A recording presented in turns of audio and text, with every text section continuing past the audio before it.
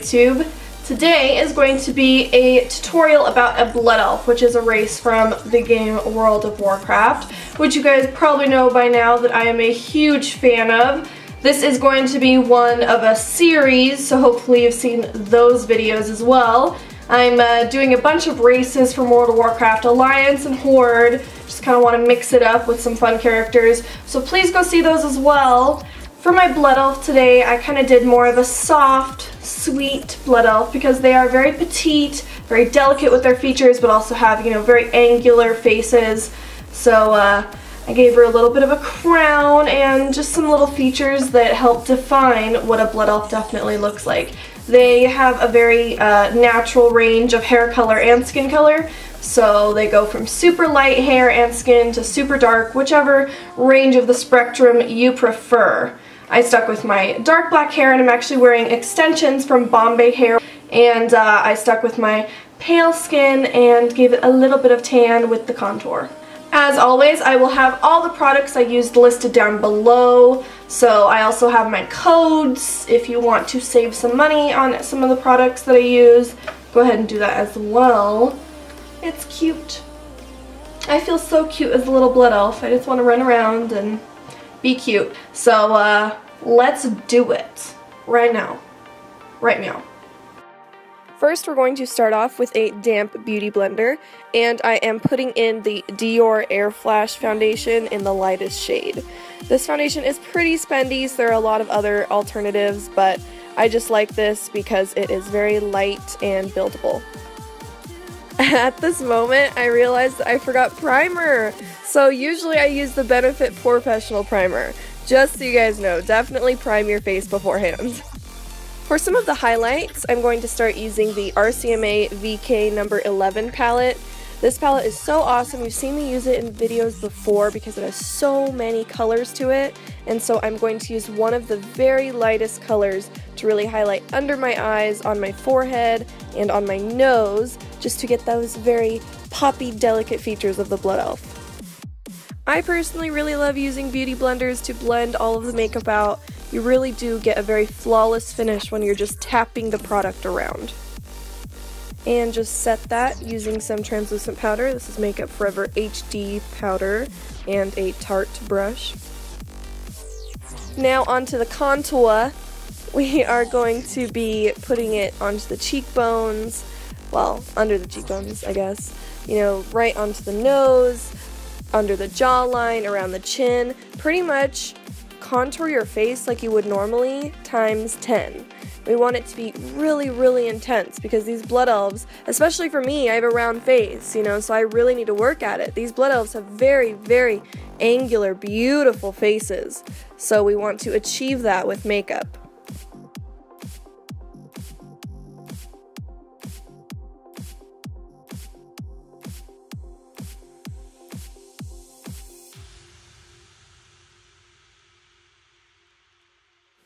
I like using my Beauty Blender and a Morphe G30 brush to really get right under that cheekbone. And under the jawline as well.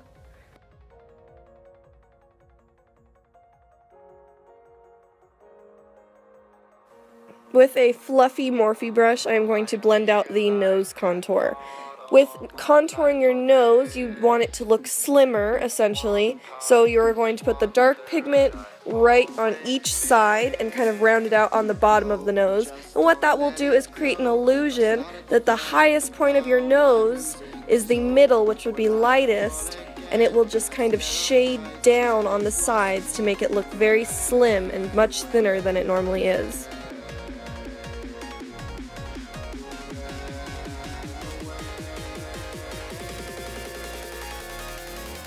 I decided I want a little bit more of a highlight on the nose to show, so I'm using that same cream color that I used earlier for the highlighting, just to put a tiny bit on the top of my nose and right across the bridge. For the blush, I'm using one of the lighter peach colors from the Morphe blush palette with a Sigma brush just to put right on the apples of my cheeks very lightly, blending into the contour.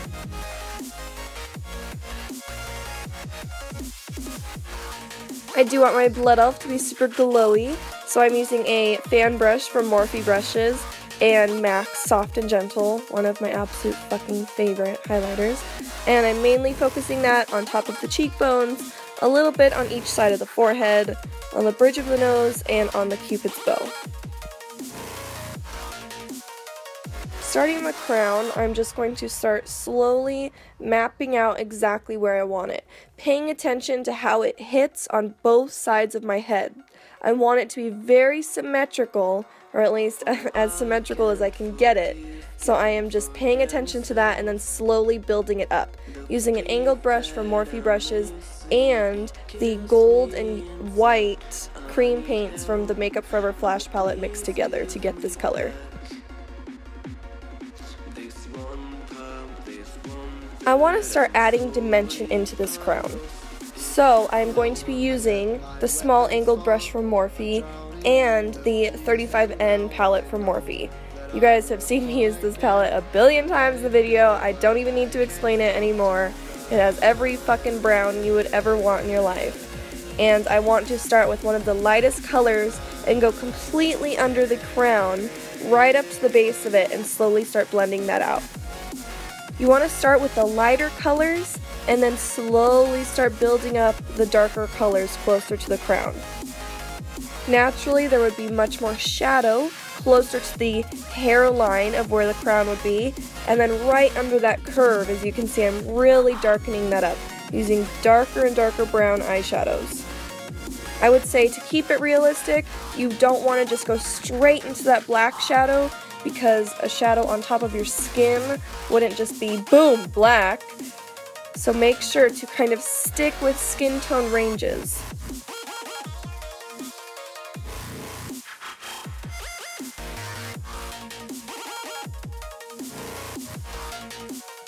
I want to put a little bit of shadow on top of the crown, but focusing that much more towards the hairline. Since the crown curves around, we want to add a little bit of shadow on the crown as well. So where the curves would be, you'd add a little bit of shadow. I'm just using the darker brown shade of eyeshadow mixed with a little bit of the gold paint from the Makeup Forever Flash palette. And then highlighting with the white cream paint from the Makeup Forever Flash palette as well.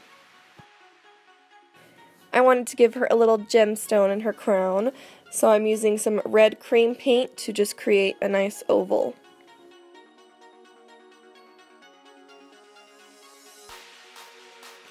You do want to start darkening up one side, so I am adding some more brown eyeshadow to the gemstone just to make it look like it's 3D.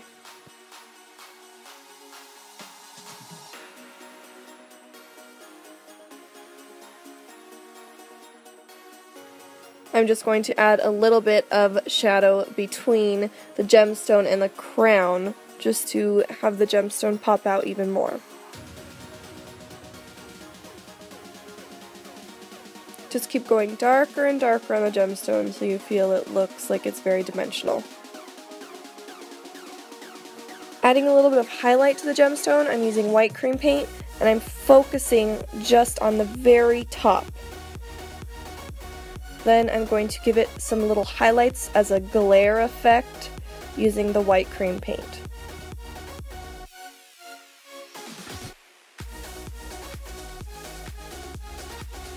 For the eyebrows, I am using the Anastasia Beverly Hills Dip Brow in Ebony.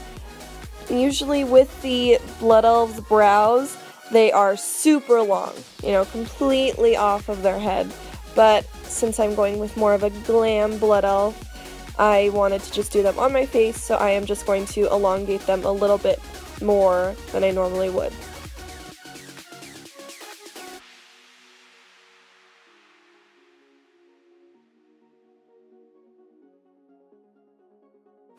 I usually would jump into the eyes right now, but I kind of wanted to go for the lips.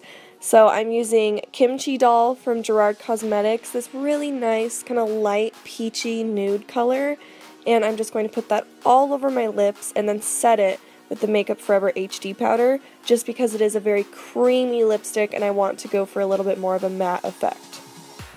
just using a little bit of Rodeo Drive from Gerard Cosmetics, I'm going to line the lips and ombre them just a little bit to give a pouty effect. I really do love Gerard Cosmetics lipstick so much because, you know, I'm more of a liquid to matte girl, but when I take those off my lips, my lips don't feel super moisturized, and these do. They're very moisturizing, they're so pigmented, and with summer coming around, I definitely want, you know, these very creamy, beautiful, moisturized looking lips. So I absolutely adore these for summer and spring coming up. On to the eyes, obviously I did one half off camera, but I am going to prime them using some Urban Decay Primer Potion and use a fluffy brush to just blend that out all over. Still using the Morphe 35N palette, I'm going to use one of the very lightest brown shades as a transition shade into my crease and blend that fully out. I want to start darkening up this little V shape that I have on my eye, so I'm just using a little bit of a darker brown to create that with a smaller Sigma brush and then blending that out as well. I want more of a shadow cast under my eyebrow, so I did add some pigment right there and going to blend that out onto my nose and back into my crease, just so that when my eyebrow is there, it looks like it's putting a shadow into my crease and down right into my nose. To elongate the eyes, we are going to do a very thick line of winged liner. This is actually my first time trying out the Eyeko eyeliner pen, and I really ended up liking it. As you can see, it's very black, and I usually like to use the Inglot 77 liner because that is blacker than ever. But this one's nice because I do like to sometimes use the versatility of a pen. So just continue to keep making your wing. As you can see, I'm just filling it in and slowly building it up to get a nice sharp line.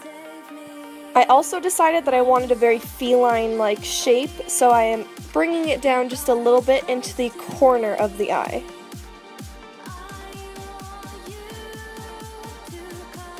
Just to make the eyes look even more girly and open, I went ahead and popped on some eyelashes off camera. These are from Friends Beauty, and it's 302, and it's two of them stacked. They are my absolute favorite lashes right now. I'm pretty obsessed with them. I felt the crown was just a little flat while I was, you know, looking at myself, so I decided to add just this little tiny divot right by the gemstone. So what I'm doing is making it look like the crown has this small indention in it, just to give it a little more of a kind of interesting look and a little more dimension. I hope you guys liked this tutorial, and I will be continuing to do more and more nerdy video game videos because they are so much fun. So please go subscribe if you haven't already, and I will see you next time.